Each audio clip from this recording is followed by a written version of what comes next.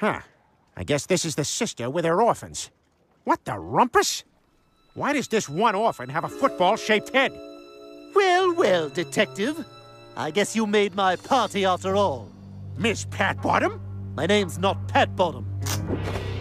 It's Marion Lynn Flowers, which is a very typical man's name for this time period. Like Carol.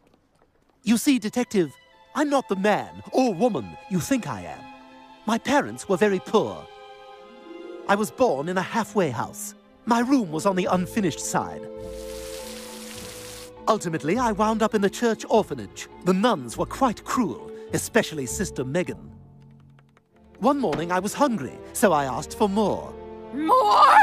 It was like a huge deal. Ah! And the Cardinal turned a blind eye to my mistreatment. All he cared about was his bootlegging operation.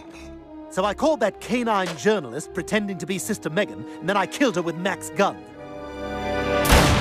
I slipped Mac's card under Hetty's door, and I planted a roll of film on the sister to lead Mac not only to the Cardinal, but also to his new lover.